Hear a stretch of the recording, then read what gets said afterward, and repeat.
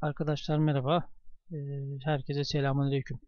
Ee, öncelikle şehitlerimize Allah mekanlarını cennet etsin. Kalanlara sabır versin. Yaralı olanlara da acil şifalar e, versin demek istiyorum.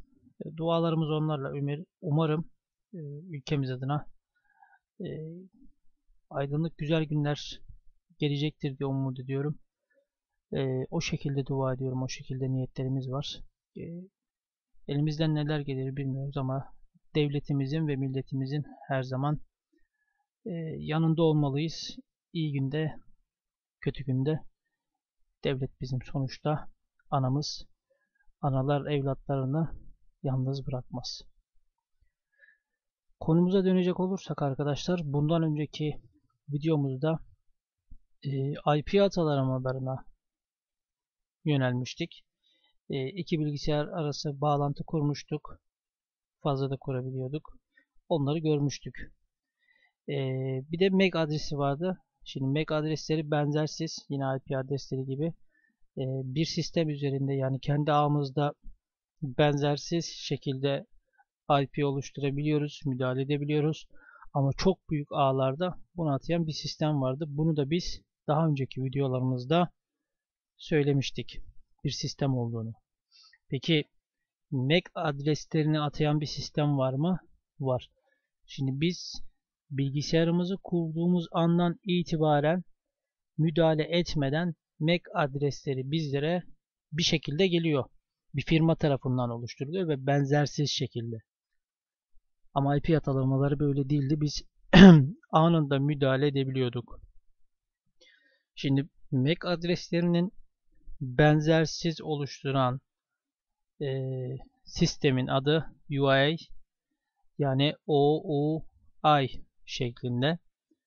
O konuya da geleceğiz. Bundan sonraki videoda kısa bir video çekeceğiz. Anlatacağım.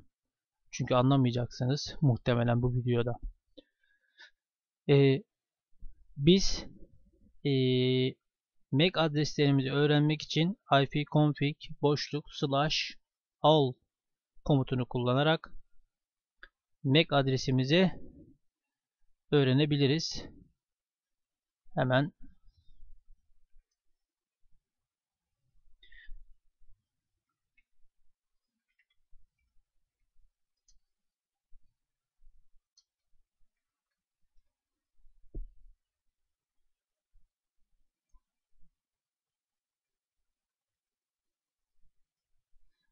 Bu benim benzersiz MAC adresim. Şimdi bu Windows'ta e, boşluk şeklinde olabilir. Yani boşluk yani nasıl? Tire var arada. Boşluk değil tire var.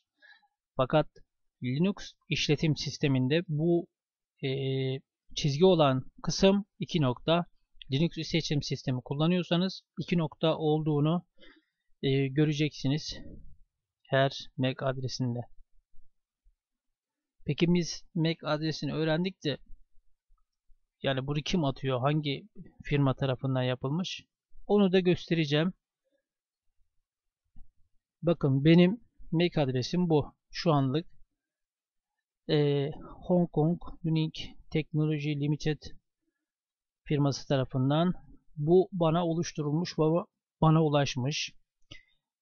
E, web sitesi de macvendors.com e, bu sistemi sizler de test edip deneyebilirsiniz. Dediğim gibi öğrenmek için ipconfig boşluk slash all komutunu kullanarak bunu öğreneceksiniz.